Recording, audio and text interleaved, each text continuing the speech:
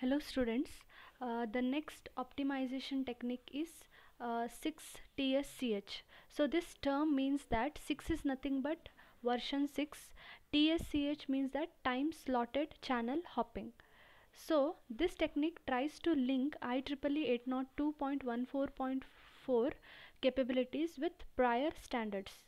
It will document an open standard based architecture, highlight best practices and standardize the missing components to achieve industrial grade performance uh, for example latency, scalability, reliability and low power operation. Such devices communicate by following a time division multiple access that is nothing but TDMA schedule. So here TDMA schedule it is nothing but it allocates uh, a unit of bandwidth or time slot uh, between the neighbor nodes and it will allow the programming of predictable transmissions. So an important element specified by 6TSCH working group is 6top. So 6top is nothing but it is a sublayer that glues together the MAC layer and 6LOWPAN adaptation layer. So this sublayer provides commands to the upper network layer such as RPL. So this RPL is nothing but routing protocol for low power uh, networks and this uh, topic you will be studying further in detail.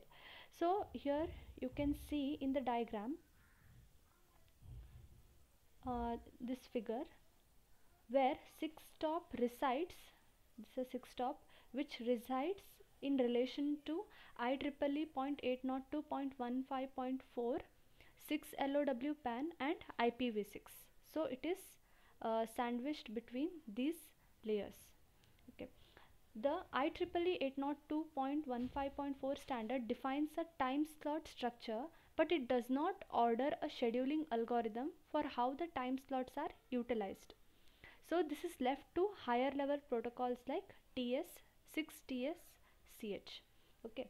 Now here the scheduling is critical because it can affect throughput latency and power consumption so schedules in TSCH are broken down into cells and a cell is nothing but it is a single element in the TSCH schedule that can be allocated for unidirectional or bidirectional communications between specific nodes. So here the nodes transmit only when the schedule informs that their cell is open for communication. So next you will be studying 6TSCH architecture which uh, defines uh, schedule management mechanisms and also the forwarding models. So here 6TiSCH architecture defines four scheduling management mechanisms. Okay, so the first one is static scheduling, second is neighbor to neighbor scheduling, third is remote monitoring and scheduling management and fourth is hop by hop scheduling. So I'll explain in brief. So firstly uh, in static scheduling all nodes in constrained network share a fixed schedule and that's why it is called as static scheduling.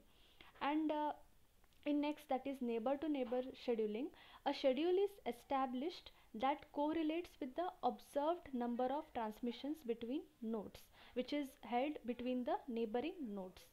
Then third one in third scheduling uh, the time slots and other resource allocations are handled by a management entity that can be multiple hops away which is referred as remote node and that's why it is called as remote monitoring.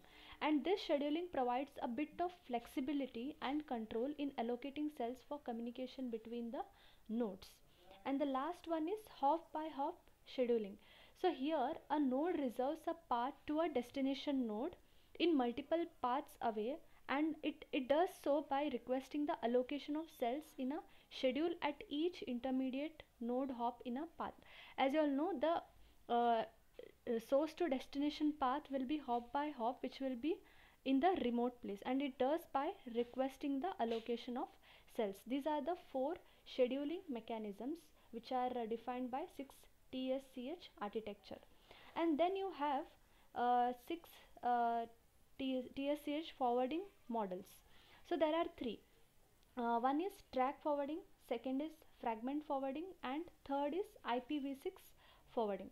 So first one track forwarding it is the simplest and fastest forwarding module uh, a track in this model is a unidirectional path between the source and the destination and this is the simplest form of uh, forwarding technique and the second one is fragment forwarding so uh, this fragment forwarding uh, it follows the 6 LOW pan fragmentation technique which you all have already uh, studied and uh, in order to build layer 2 forwarding table and the last one is IPv6 forwarding uh, and it is also called as 6F so this model forwards traffic based on its IPv6 routing tables.